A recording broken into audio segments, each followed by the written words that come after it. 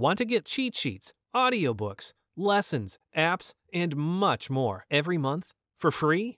Just click the link in the description to get your free language gifts of the month.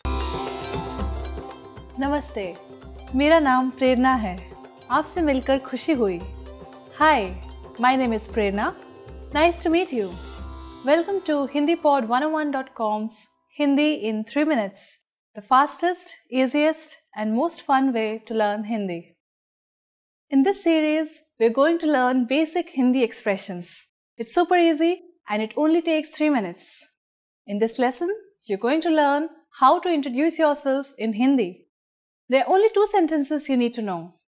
नमस्ते मेरा नाम प्रेरणा है आपसे मिलकर खुशी हुई hi my name is Prerna nice to meet you start by saying नमस्ते Then say, Mera naam, then your name, and then say, Hey. Please repeat after me. Namaste. Mera naam Prerna है finally से आप से मिलकर खुशी हुई together we have नमस्ते मेरा नाम प्रेरणा है आपसे मिलकर खुशी हुई let's take a closer look at the first sentence the first word is namaste namaste in Hindi is equivalent to hello which can be used at any time of the day. Next is mera. The word mera means my. This is a way to refer to yourself which can be used by both men and women. Next, we have naam. The word naam means name. Then you say your name. And finally, we have hai. Hai is attached to the end of the sentence and literally means to exist. In the first sentence, we have the construction Mera plus naam plus your name plus hai. The structure of simple Hindi sentences is different from English. In Hindi, the word order is subject, object, verb. The second sentence we have is Aapse milkar khushi hui. Aapse milkar khushi hui can be used by both men and women. It means nice to meet you. It's used when meeting someone for the first time. आप से मिलकर खुशी हुई आपसे मिलकर खुशी हुई now it's time for प्रेरणा's points. Indian people don't generally shake hands. You're better off using the namaste gesture. However, in a business situation, you might want to use a handshake. Shaking hands is more common in big cities where Western customs are more familiar. Do you know? In the last lesson, we learned how to introduce ourselves in Hindi. In this lesson, we're going to learn how to use good manners when we thank people. क्या आप तैयार हैं? Are you ready? तो चलिए शुरू करें. So let's begin. There are several ways to thank someone, but let's start with the easiest. It's just one word. Dhanyavad. Dhanyavad. Dhanyavad means thank you. You can emphasize dhanyavad by adding bahut, which means very much. So it becomes bahut dhanyavad. Bahut dhanyavad. In Hindi, there are other ways to express one's gratitude. Dhanyavad comes from Sanskrit and it sounds quite formal. That's why some people prefer to use Urdu expressions, which are felt to be more colloquial. A more colloquial expression for thank you in Hindi is shukriya. Shukriya can also be preceded by bahut, which means very much. Bahut shukriya. Bahut shukriya. So now you have learned how to say thank you in Hindi. But how will you reply if someone else says thank you to you? In Hindi, your welcome is sometimes expressed as swagat hai. The expression swagat hai means welcome. Swagat hai. You can also respond to someone who has thanked you by using another expression. This is koi baat nahi, which literally means it's nothing. Koi baat nahi. So, when someone says dhanyavad to you, you can simply reply with swagat hai or koi baat nahi. Now it's time for Prerna's points. Just as with the expressions for thank you and please, Indians do not always use you're welcome in everyday situations. It's a concept literally translated from English. Native speakers often show politeness simply by using polite pronouns and verb forms while speaking. In the last lesson, we learned how to show gratitude to people by saying Dhanyavad. In this lesson, we'll learn some of the most common greetings used in India. क्या आप तैयार हैं? Are you ready? तो चलिए शुरू करें. So, let's begin. Let's start with a greeting you are sure to have heard before. Namaste. This is a word that is so closely associated with India and Indian culture that it has become famous all over the world. Namaste. Namaste. The word namaste is made out of two Sanskrit words, nama and te, which have been joined to mean I salute you. We use namaste as a formal as well as a friendly greeting. It's used when people meet at any time of the day, morning, noon, or evening. A slightly more formal variation on namaste, which you may or may not have heard before, is namaskar. Namaskar. Use this and you'll surely impress your Indian friends. In Hindi, using different greetings for each time of the day is not very common. When talking with friends, we usually just use the English phrases. But there are equivalent Hindi versions. They're just not used that often. If you meet someone before noon, you can say Suprabhat. Suprabhat. For later in the day, you can say Shubh Sandhya. Shubh Sandhya. But for most of the time, you can just say Namaste and not worry about it. As we learned in this lesson, Namaste can mean both hello and goodbye. However, this is not the only way of saying goodbye in Hindi. A parting expression that we can use for all occasions is fir milenge, which means see you. Fir milenge. Fir milenge. The first word fir means again and the second word milenge means we will meet. Let's look at one more expression. Alvida. Alvida is an Urdu word which means goodbye. Alvida. It is an appropriate choice when parting for a long time. Now, it's time for Prerna's points. The easiest way of saying your goodbyes in Hindi is by using Namaste. Take a slight bow with folded hands and say Namaste. Namaste and Namaskar both come from Sanskrit and mean something like I honor you or I bow to you.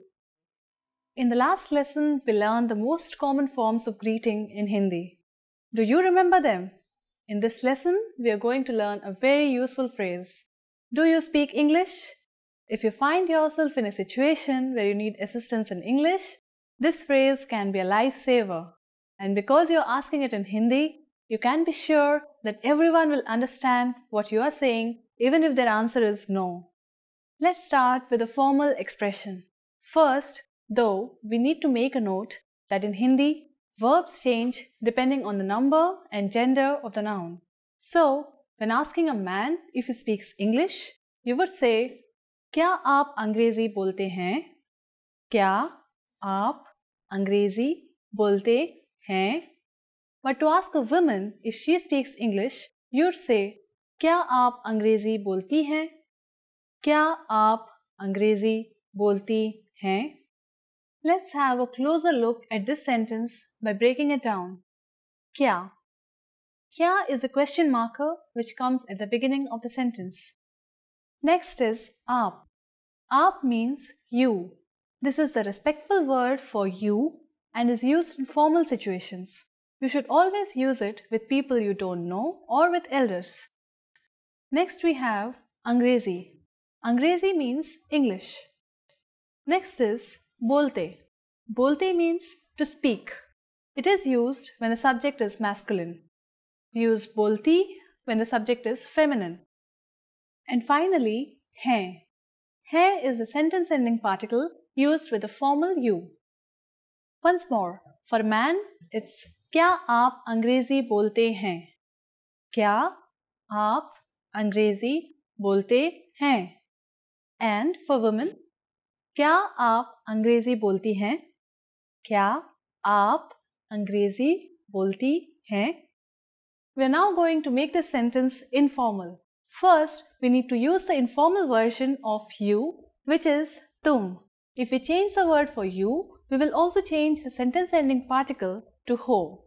Everything else stays the same. When speaking to younger people, it's acceptable to use the informal form, in which case you will say क्या तुम अंग्रेज़ी बोलते हो? To ask a young man or a boy और क्या तुम अंग्रेज़ी बोलती हो? To ask a young woman or a girl again for a boy क्या तुम अंग्रेज़ी बोलते हो? एंड फॉर अ गर्ल क्या तुम अंग्रेज़ी बोलती हो? The responses you will receive could be one of these three हाँ, यस हाँ, थोड़ी बहुत. A little थोड़ी बहुत नहीं no I don't नहीं Now let's review one more time. To ask a man in a formal situation if he knows English, we would say क्या आप अंग्रेज़ी बोलते हैं To ask a woman in a formal situation if she knows English, we would say क्या आप अंग्रेज़ी बोलती हैं To ask a man in an informal situation if he knows English, we would say क्या तुम अंग्रेजी बोलते हो To ask a woman in an informal situation if she knows English, we would say क्या तुम अंग्रेजी बोलती हो Now it's time for Prerna's points. India was once for a long time part of the British Empire, and so today English is one of the national languages of India. When visiting tourist areas, you're sure to meet many people who can communicate with you in English. Still, a large part of the population can't understand English, and you can never go wrong if you learn the local language. Want to get cheat sheets, audiobooks, lessons, apps, and much more every month for free? Just click the link in the description to get your free language gifts of the month. In the last lesson, we learned the phrase क्या आप अंग्रेजी बोलते हैं Do you speak English? In this lesson, we are going to learn how to apologize in Hindi. There are a number of ways to apologize, but in a formal situation, you should use maaf kijiye. Maaf kijiye. The first word, maaf, literally means forgive, and kijiye is a polite form of the verb meaning please do. Thus, this expression actually means something like, Forgive me, please. Now let's hear it again. Maaf kijiye. You use maaf kijiye when you might have said or done something offensive, wrong, or embarrassing. Sometimes you'll also hear people say Kshama kijiye. Kshama kijiye. This means please excuse me or I'm sorry. In Hindi, we have many synonyms for a single expression, usually a more colloquial Urdu form and a Sanskrit form, which is used in more formal situations. This is the case with I'm sorry as well. Maaf kijiye is the Urdu form and the corresponding Sanskrit form in Hindi is Kshama kijiye. The informal way to say I'm sorry is Maaf karo. Maaf karo. Similarly, we could also say Kshama karo. Kshama karo. Let's review. "Maaf कीजिए or "Kshama कीजिए is a formal "I'm sorry" or "Excuse me." "Maaf karo" or "Kshama karo" is the informal I'm sorry or excuse me. These are all versatile phrases with a few different meanings depending on the situation. Whether you're trying to get someone's attention for a question, or making your way through a crowded area, or apologizing for stepping on someone's foot, these are all phrases you could use. Now, what if someone says maaf kijiye or kshama kijiye to you after having done something wrong? How would you respond? In this case, you could say koi baat nahi. Koi baat nahi. This means something like it doesn't matter. Koi baat nahi. Now it's time for Prerna's points. If someone bumps into you on the streets in India, don't expect an excuse me, especially in the big cities. Big crowds are very common and so is bumping into each other. Indians are usually very friendly people, but this does not seem like something worthy of an apology. Unless someone pushes you over so hard you fall on the ground, keep walking. In the last lesson, we learned some words used when apologizing in Hindi, including maaf kijiye and kshama kijiye. In this lesson, we are going to learn numbers in Hindi. Yes, numbers, sankhyaen, from 1 to 10. And you're going to learn them in only 3 minutes. 3 minute. Are you ready? Let's start.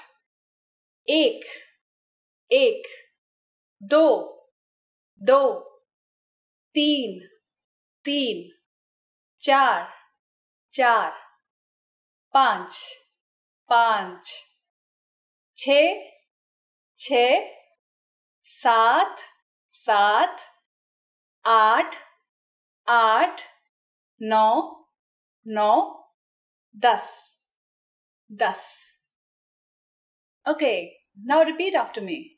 I'll say the numbers and give you time to repeat each one. एक दो तीन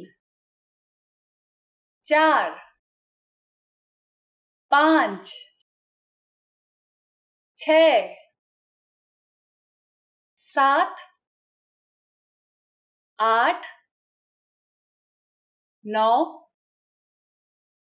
दस Great job. What is before ek? Do you know? It's of course zero which in Hindi is shunya. Shunya. You don't have any more excuses. You can give your friends your cell phone number in Hindi. Let's try together. We'll use the phrase mera phone number, then your number, and then hai, which means my number is and your number. Mera phone number hai. Mera phone number नौ शून्य दो पाँच पाँच सात दो दो चार आठ है can you read it by yourself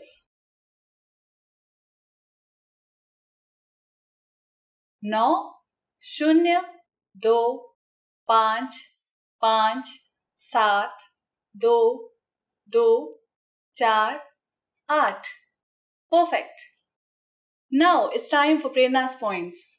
Did you know that in Hindi, numbers have their own Devanagari script? Yes, that's right. They don't look like the numbers we're used to seeing in the Western world. But actually, they're quite similar because the Western numeral system is the modified version of the Hindi numeral system. So, with just a little more effort, you can not only say the numbers in Hindi, you'll be able to read them as well. In the last lesson, we learned the numbers from 1 to 10. Have you forgotten? Here I'll tell you again.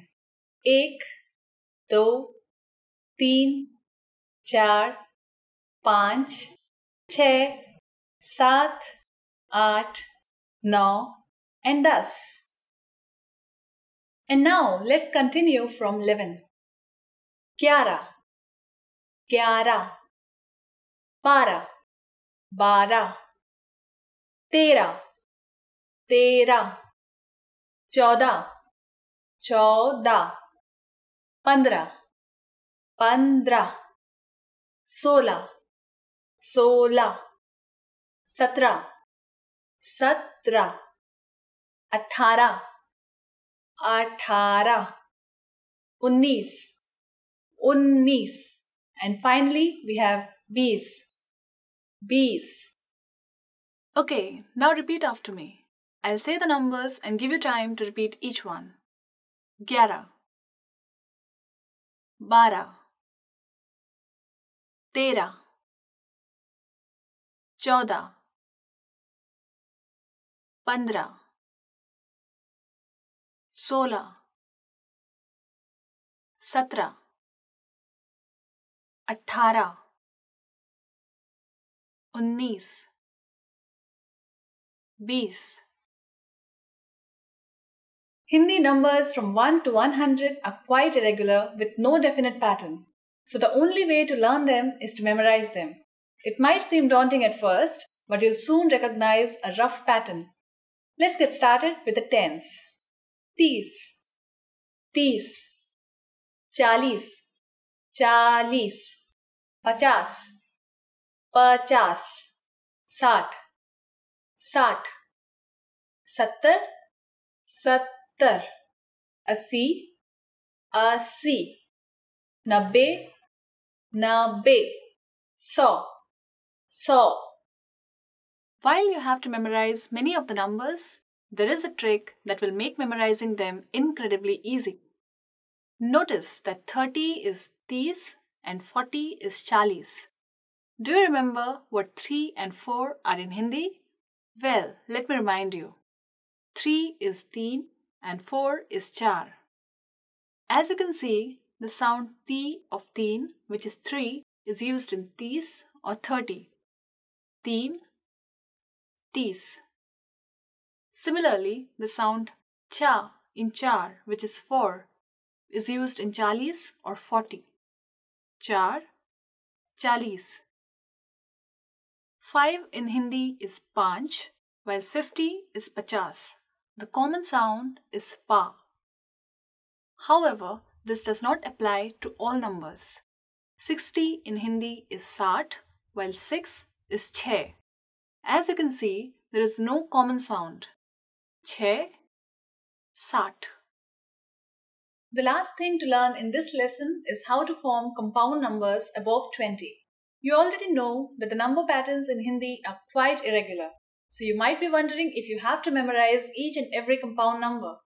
The answer is yes, you do. However, we are going to make your life a bit easier with our brilliant tip. For any numbers between 20 and 99, you read a variation of the number in the ones followed by the number in the tens. Let's try it out. How would you say 34 in Hindi? You first say a variation of 4 followed by a variation of 30. So 34 is literally read as 430, which is chauntis. Here, chaun is a variation of the number 4 or char and tis is 30. Chauntis. 61 is iksat, which is literally read as 160. Ik is a variation of ek for 1, while sat is a variation of sat for 60. Iksat. Let's look at one more number, 95. In Hindi, it's panchanave, which is literally read as 590. Pancha is a variation of panch for 5 and nave is a variation of nabbe for 90. Panchanave. After only two lessons, you're now able to count to 100 in Hindi. In the next lesson, we are going to put your number knowledge to use.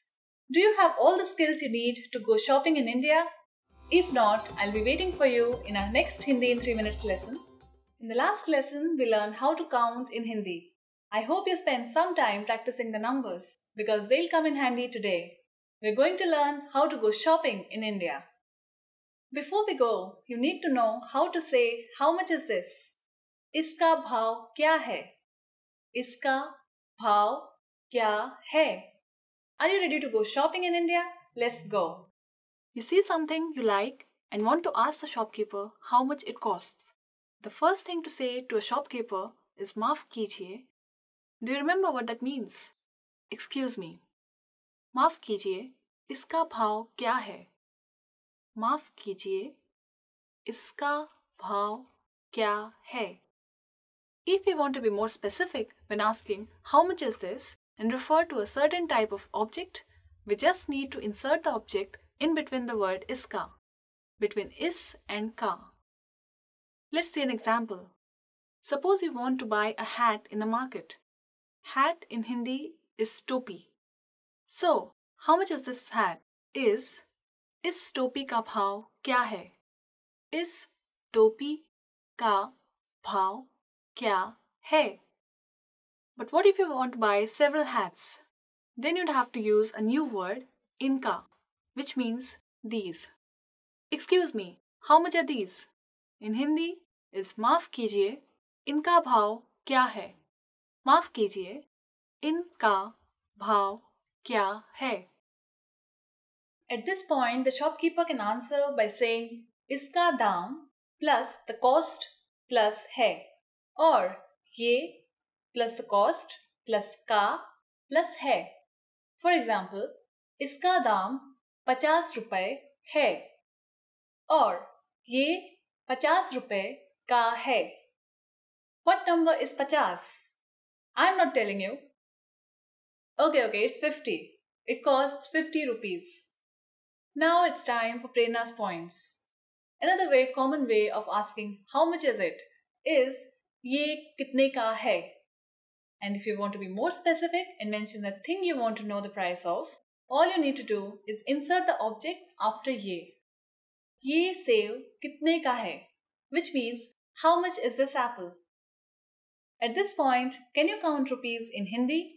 We are going to learn how to do this and much more in the next lesson. I'll be waiting for you in our next Hindi in 3 minutes lesson. फिर मिलेंगे. See you then.